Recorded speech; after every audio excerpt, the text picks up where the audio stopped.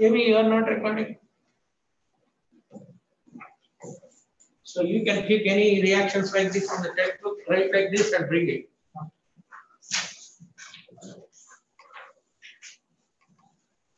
Okay, now I'm going to start the solution chemistry, which is chapter 13, I think. You already know what a solution is. Solution equals solute plus solid.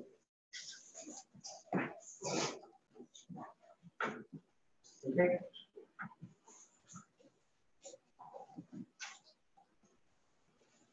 So when a solute dissolves.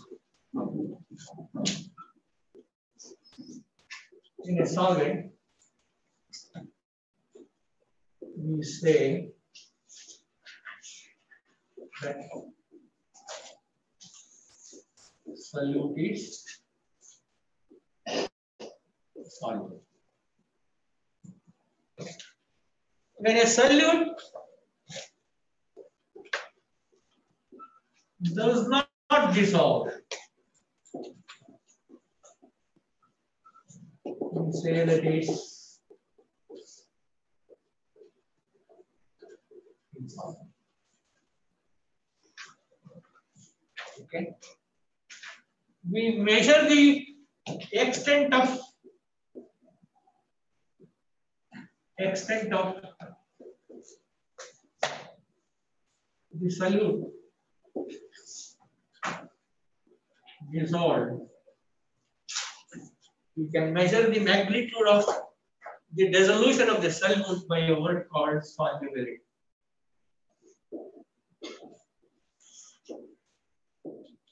Solubility.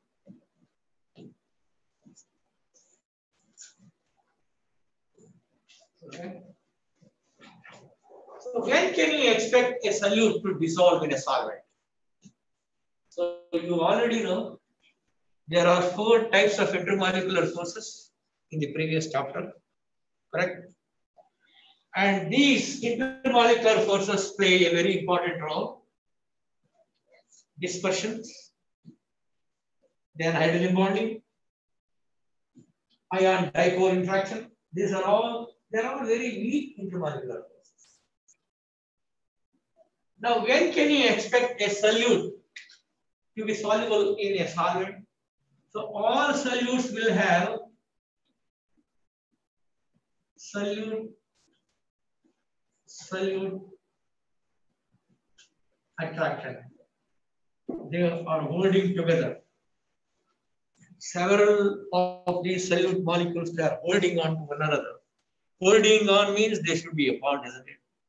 They should be a bond. Similarly, the solvent molecules, solvent, solvent interaction, attraction, I should say attraction. The solvent, solvent attraction is also there. They are all forces, attractive forces. So now, when can you expect this solute to be soluble, soluble in this solvent? That is the most important. Okay. Remember, the solute molecules by themselves are not free. They are holding on to one another. And the solvent molecules are also holding on to one another. When can you mix this solute and a solvent? First of all, you need to break up this attractive force. They must be made free. Are you following? Similarly, these two must be made free. Then the attraction between the solute and the solvent. Attraction. So there are three types of interactions here. Solute-solute interaction, solvent-solvent interaction. If you break them up, when can you break? Only when the solute and the solvent have greater attraction. They have greater affinity towards each other, then only that solid dissolves in a solid. Okay? This must be greater. If I ask you, solute solvent interactions must be more predominant, more powerful compared to solute solute and solvent solvent. Then only a solute easily dissolves.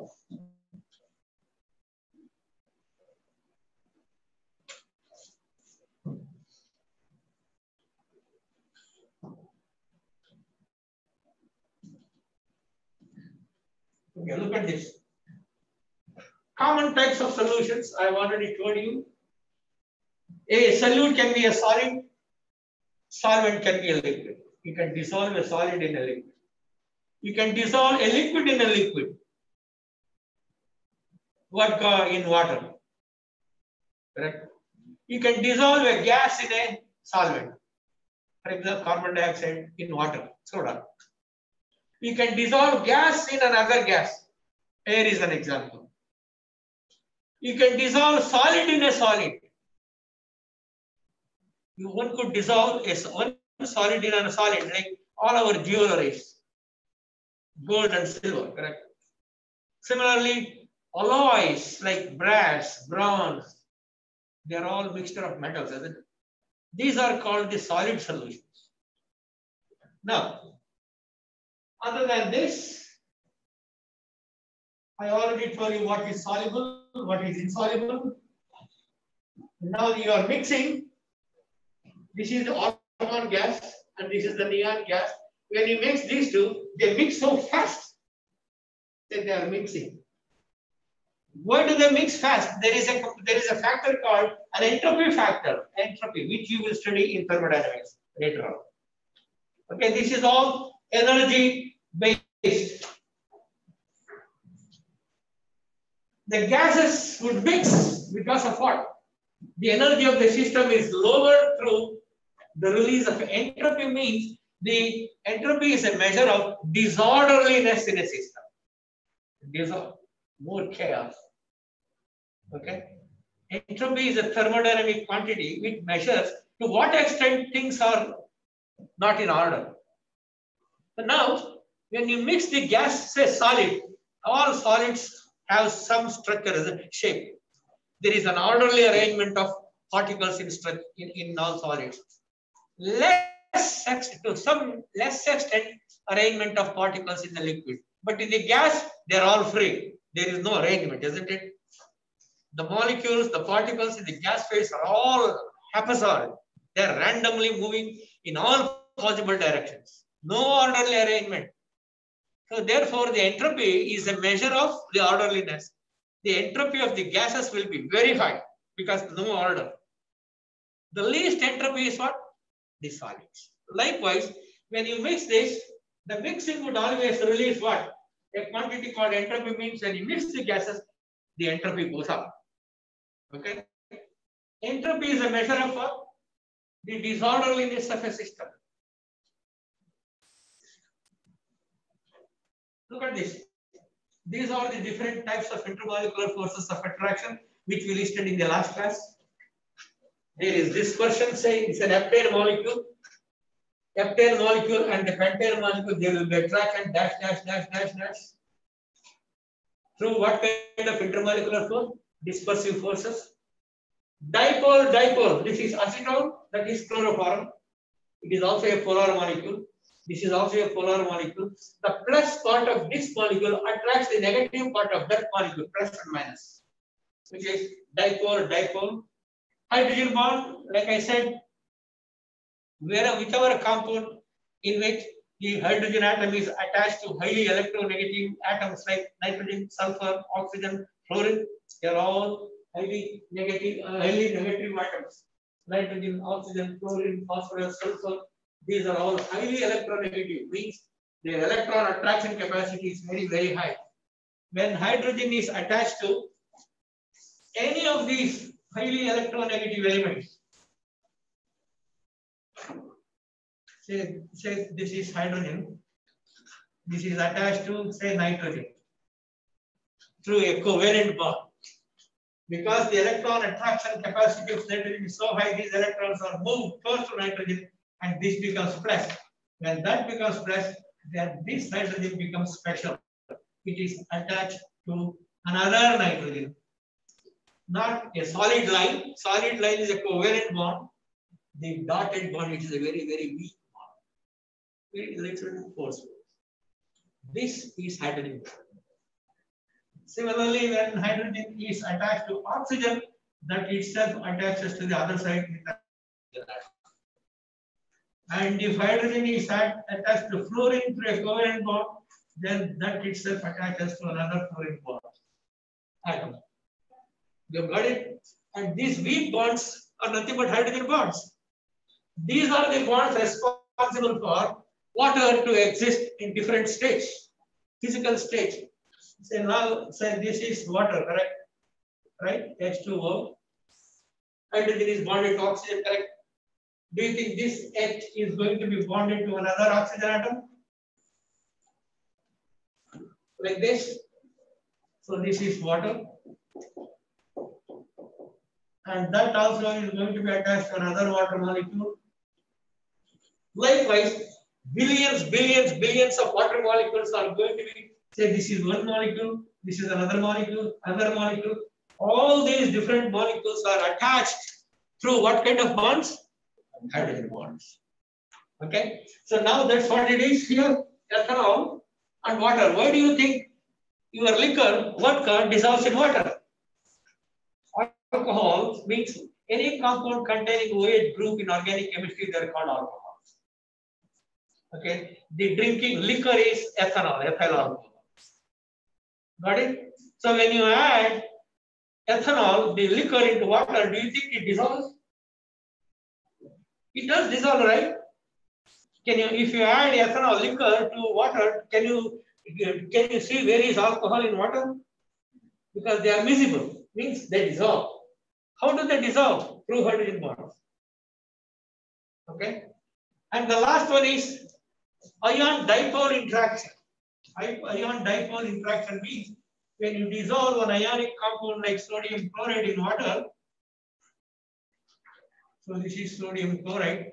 When you dissolve this in water, so now it, it dissolves, right? Table salt dissolves in water. How does it look like? This is like Na plus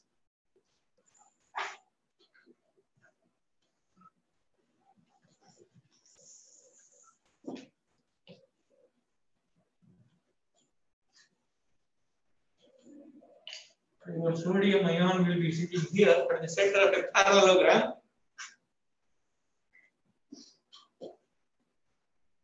This is one water molecule. This is another water molecule. This is one mole.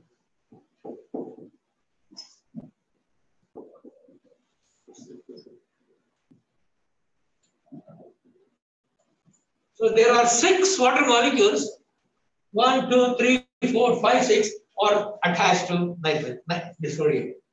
Remember, this is a polar molecule, correct? How? If you write like this, electronegativity of oxygen is very high, that becomes delta minus, this becomes delta plus. And that is a polar bond, you know this. And this is also a polar bond. So therefore, the overall, this is there is a dipole. 1 plus, 1 minus. Dipole. So now this dipole attracts with ionic charge that is plus. Understand my point? Because of this, so now if you create a figure here like this,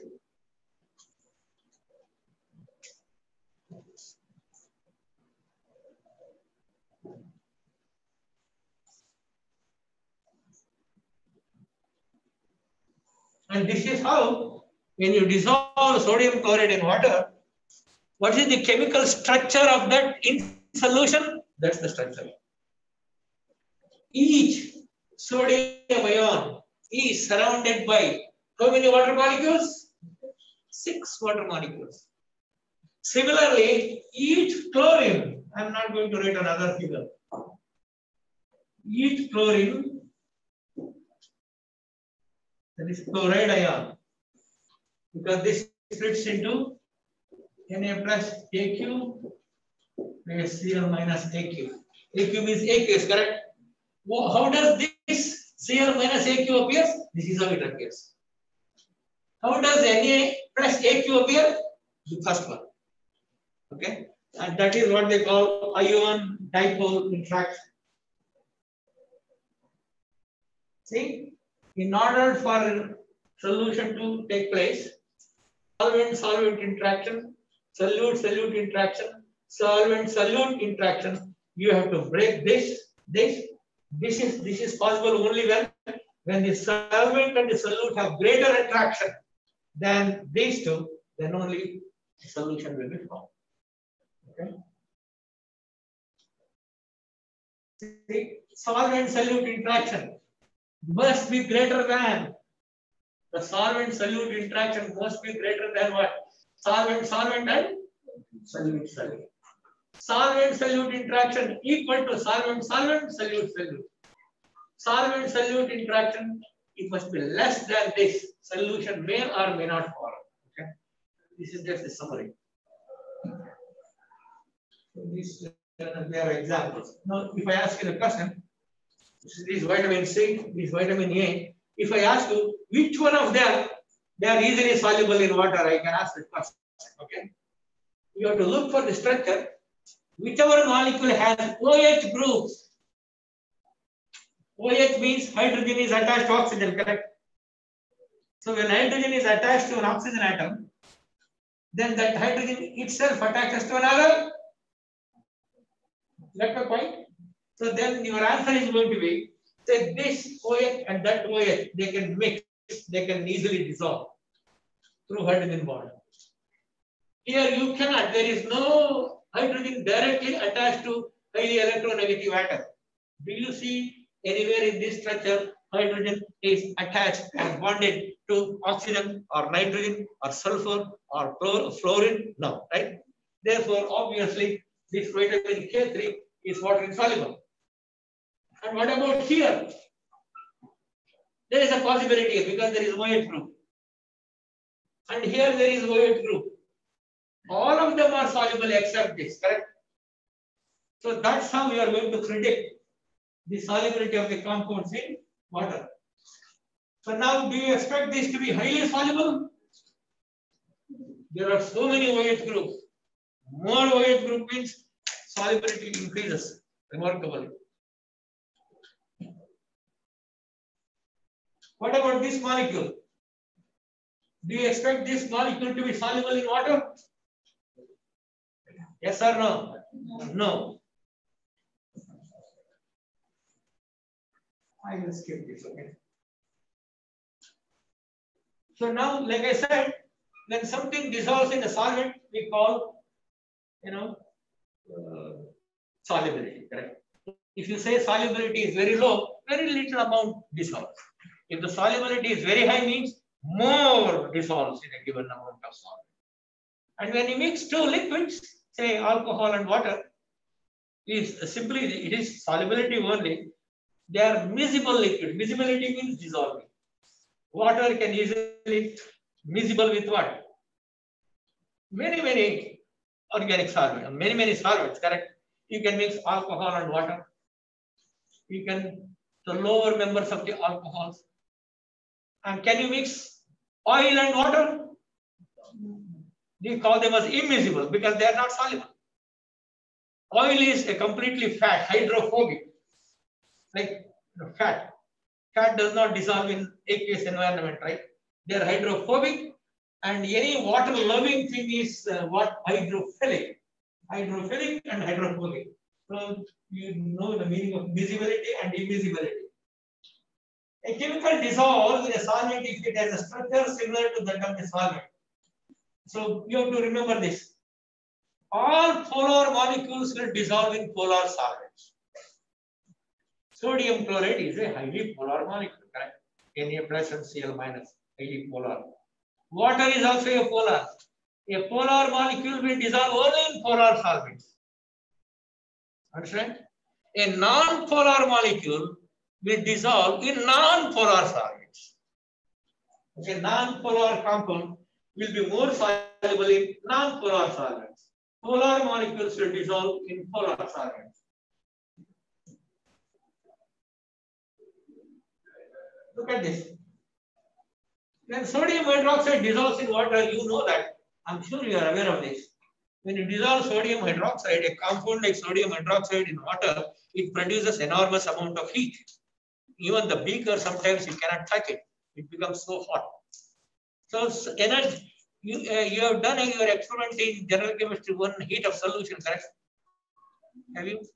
So in sodium hydroxide, so when you add sodium hydroxide to water and straight thermometer, the temperature shoots up. Means heat is being generated. The heat content of the sodium hydroxide, when you drop them into water, sodium hydroxide loses the energy, water gains the energy. That is why water becomes very hot, which is an exothermic process, correct? And on the contrary, if you dissolve ammonium nitrate, a compound like ammonium nitrate in water, the solution becomes extremely cold. Why? When it becomes cold, how do you feel that?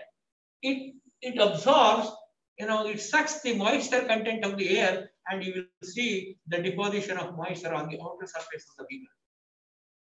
Just like what, you, what happens in, uh, in the car, fog, fog accumulation. This, which is an endothermic process. So now this is why it becomes hot. It is exothermic. Why this becomes cold? It is what? Endothermic. So now that is what is to make a solution, you need to do the following. Like I said, you have to overcome all the attraction. What? Solute, solute attraction you have to overcome. Solvent, solvent attraction you should overcome. So overcoming means what? You have to supply energy to break that bond, isn't it? There are two solutes here. Two solutes. So you have to break this means do you need to spend energy to break them up? Because there is a bond between them. You have to spend energy means you are in, you are investing energy on that. That is, you are spending energy. The process absorbs energy. That is endothermic. You understand my point? And when the solution forms, when the salt dissolves in water, that is an exothermic process. So that is what is called the delta H means enthalpy change. You have studied in thermochemistry. So in thermochemistry 1, H stands for the heat. This is the symbol for heat. Okay. Delta stands for the change. You already know that, right? So change in heat is called delta H. The heat is as another name. We call that as what? enthalpy. So whenever heat is being generated outside, come out, it is an exothermic, isn't it? The enthalpy change delta H always will be negative. If you spend energy to break something, it is endothermic. The enthalpy change delta H will be positive. Okay. So now to overcome all the previous attractions, you need to spend energy. Therefore, the enthalpy change of the solute is endothermic. Enthalpy of the solvent is also endothermic. When the solutions are, when the solution is formed by mixing, then this is exothermic. Okay.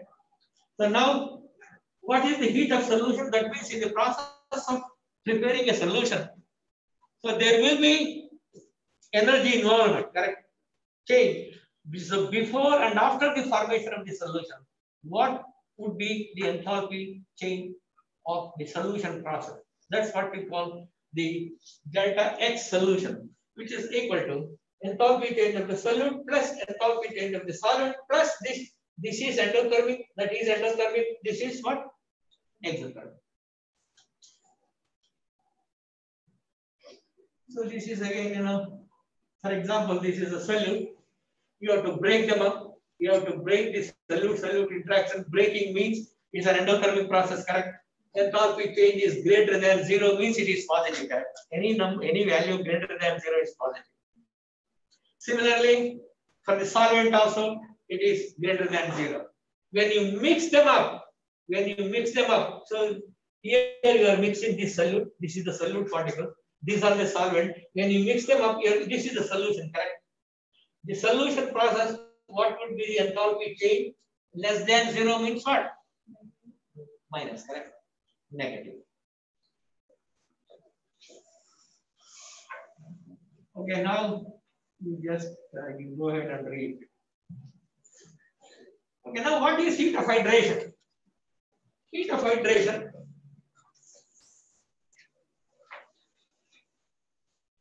So if you dissolve sodium chloride in water, correct? Like you said, when, when the solution forms, there will be energy release, isn't it? Because you have to break sodium, sodium, you have to break chlorine, chlorine, you have to break water, water. Then when you mix them up, you will get the solution, which is an exothermic process, correct? Right? So what they are talking is, instead of addition of water called hydrate is the word we use for water, correct? Hydrate, hydrate means water. So when you dissolve this in water, when you dissolve this in hydrated form of water, which is nothing but hydrate, the process is called hydration. So now what did we write here? So Na plus was surrounded by how many water molecules? Six, isn't it? So hydrated hydrates are attached to sodium ion. What is the energy that is re released or absorbed during this process? That is called hydration. Heat of hydration. If it is say any other solvent, not necessarily water. Water is a solvent. If sodium chloride dissolves in some other solvent other than water, there also energy involvement is there. So then we call heat of solvation. Solvation means not the solvation. Solvation means addition of solvents in general. Heat of solvation. Heat of hydration is specific. The solvent is fixed, which is water. So now you also know all ionic crystals, all ionic crystals have crystalline shape, isn't it? So when you mix sodium, say I'm going to say sodium, uh, say atom, the solid state. If you heat it, that becomes what? Sodium in the gas phase. Then if you heat this further, that becomes Na plus gas sodium ion. You have to remove an electron, correct? You know this. Starting from sodium solid, the reaction takes place only in the gas state. You need to convert the sodium in the solid state to the sodium in the gas phase. You have to heat it, right? Correct? Then you have to remove an electron from sodium. Removal of electron is called ionization. And you can check there is ionization energy in the periodic table. So ionization energy is defined as the amount of energy that is required to remove an electron from the outermost energy level to knock off the electron. You need to spend energy, which is an endothermic process. And that energy is called ionization energy or ionization potential. So when once you remove that electron, this goes sodium ion in the gas phase, correct? Similarly, you take chlorine molecule, which is a gas state. You have to dissociate this into chlorine atoms in the gas state. Then you have to add one electron removed from there. Here, when you add that, that becomes what Cl minus chloride ion, correct? So now you have created a cation and an anion. Do they attract one another?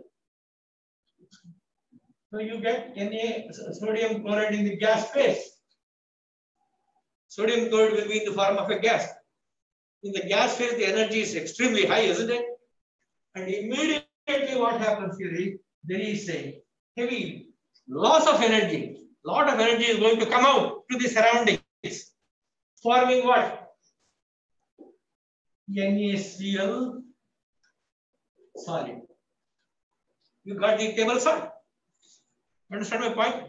And what is the energy that is coming out from gas to solid, which we call lattice energy.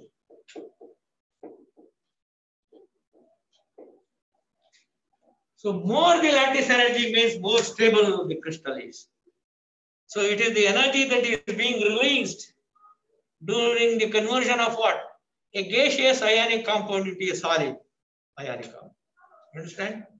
So that is energy is being released means is it exothermic or endothermic? Exothermic, correct? So now they are trying to correlate the heat of hydration to lattice energy. This is what exactly lattice energy is. Okay. So the enthalpy of change in enthalpy of the solute equals delta H lattice energy. That is, it is equal to this minus sign stands for release of energy. Okay. The minus sign stands for losing. Plus stands for gain. So now heat of hydration equals heat released when one mole of gaseous ions dissolves in water, that is enthalpy change of the solvent plus mix. so now hydration, you just go ahead and see enthalpy of enthalpy change of hydration is less than enthalpy change, that is the lattice energy change, when delta H solution is positive. And when it is negative, hydration is greater than lattice energy. Okay. So this holds good more predominant. Okay, now ionic compounds and polar solvents. This is what I told you. This is the potassium chloride solution. What exactly we mean by that? Potassium chloride, when you drop them into water, just like sodium chloride, it splits into potassium ion and chloride ion. Fluoride, fluoride ion. You got my point? Here, this is not correct. There should be six of them, okay? One, two, three, four, five. Oh, there are only four. So there are supposed to be six. Water, this is water. The red color is oxygen. And that one, those two are, are hydrogen. Okay. These two hydrogen, oxygen. So they are ion, dipole. So look at the dipole. One plus, one minus, correct? This, this is a polar molecule, a dipolar molecule. The plus of the ion attracts the minus of this, minus of that, minus of that. And here you can see the plus of that and plus of this attracts this. Look at the way they are linking. The red is attached to plus there in the top one. Here, not the red oxygen, but the hydrogens which are positively charged are going to be attached to fluoride ion. So this is what we call ion dipole interaction. You understand?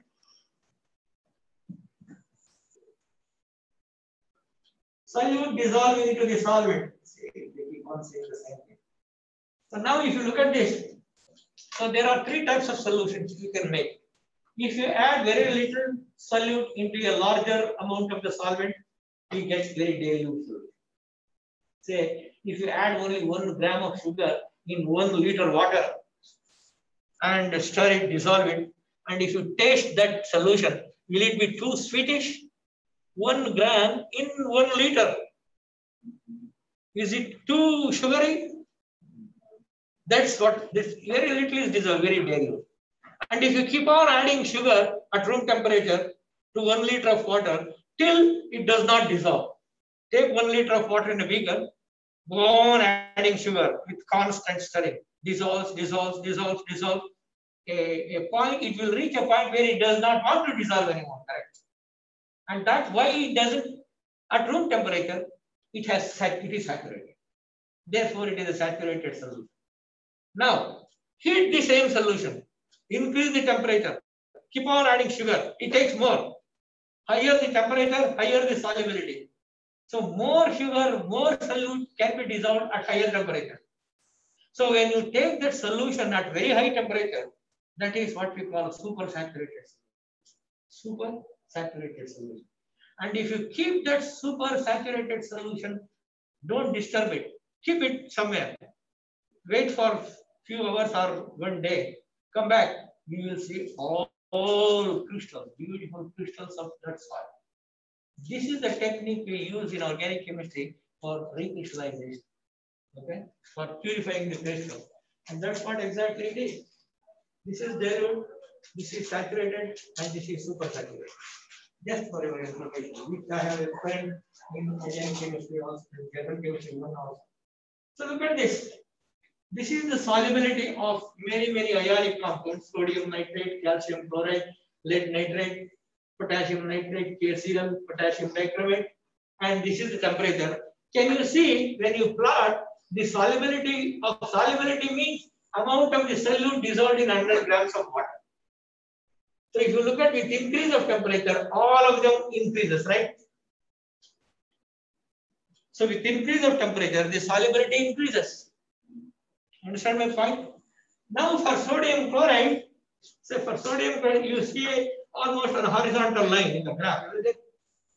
So based on this, those compounds which those curves which are above this line, this pink line,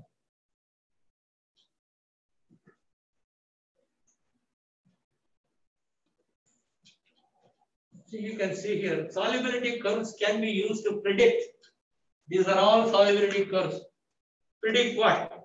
Whether a solution with a particular amount of solute dissolved in 100 grams of water is saturated. This is saturated on this pink line that shows it is saturated. On the line, unsaturated means below this line or, or this portion, and above they are all above what? Supersaturated. The horizontal line is saturated. Below is unsaturated. Above means what? Supersaturated. So now, my next question is, normally the solutes, solids, the solubility of the solutes would increase with the increase of temperature, correct? as the temperature increases, you can dissolve more solid, more solids. So now what is the effect of temperature on the solubility of gases in solvent? Say uh, soda, for example, soda. What is soda? You are dissolving carbon dioxide in water, correct? That's what soda is, right? Now, dissolved sodium, uh, uh, carbon dioxide in water at room temperature. It takes certain amount of CO2 gas, correct? If you increase the temperature, can you dissolve more carbon dioxide in water? Huh? Yes or no? No? Why not? Yeah, but what happens at higher temperature? At higher temperature, the gas evaporation goes away, right? As the temperature increases, the gas would not like to stay in water. It evaporates and goes away. That means you can dissolve only least amount of gas in a solvent at higher temperature. Are you following? Whereas the solids, the solubility increases with increasing temperature. The solubility of a gas in a given solvent decreases with increase of temperature. They are inversely related. So for all, gases, the solubility of the gas decreases as the temperature what? increases. So now, this is the first part, important part from the examination point. of view. So we are dealing with gases. The solubility of a gas decreases with increasing temperature. Correct? So now what happens to the solubility of a gas with increase of pressure? If you force, if you apply external pressure, you are bringing the molecules more closer, isn't it? Say, we are 20 here, for example. 20 are all scattered, correct? You are, you are far away from each other, six feet from each other, presumably. There is a lot of space in between us, correct? Suppose I force all of you to you know, apply pressure to pull all of you together. Can we put more people into this room? Likewise, if you increase the pressure of a gas, you can dissolve more gas in the solid. You understand my point? And that is what they call Henry's law. Henry is the one he studied this. Henry's law. According to him, according to him, what does he say? The larger the partial pressure of a gas in contact with a liquid, the more soluble the gas is in the liquid. You agree? right? So now there is a mathematical equation. You can dissolve more means the solubility increases. The solubility of a gas, which is abbreviated as S gas, is directly proportional to its partial pressure at the at that temperature. So therefore, if you write a mathematical equation, if you write a mathematical equation, the solubility is given as the solubility, yes, see the solubility of a gas is proportional to what? The partial pressure of the gas, P of the gas. You got it? According to Henry's law. Now, the solubility of the gas, if you remove this proportionality sign, you have to introduce a constant K, correct? And that K they call KH, partial pressure of the, the gas. So where S gas stands for the solubility, P gas stands for the pressure of the gas, and KH stands for what? It's a constant, Henry's constant, Henry's law constant. Okay, the KH is called what? Henry's law constant. And here each gas has its own KH constant. The Henry's law constant for carbon dioxide at 25 degrees is 3.4 10 to the negative 2 molarity per atmosphere. Okay? Because the unit of pressure is atmosphere, correct? Now there is a problem here. Look, the solubility of carbon dioxide is 0.12 molarity. You have to find this. And can you find this? When they give you, when they give you this, have they given what? No. And these two, when they give you these two, you can find this, correct? But they have given this, and this will be known, they will give you, we are, we are supposed to give you that constant. If you know this and this, can you calculate this? They are very simple problems, okay? So now, so now what it is? So the partial pressure of CO2 equals solubility divided by Henry's law constant. This is the constant. You simplify this, so the partial pressure of carbon dioxide is going to be 3.5 atmospheres. ATM is the unit of pressure, okay?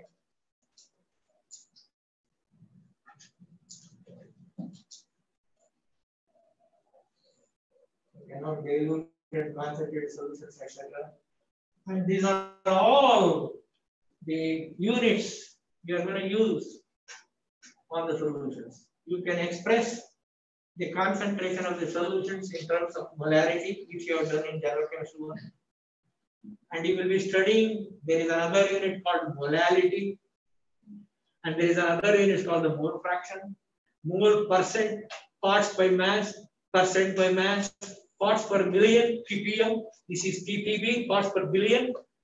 Okay, these are all the different units that we can give to express the concentration of the solution. Okay, how much time we have? Three minutes. So I think uh, I'm going to continue this in the next class.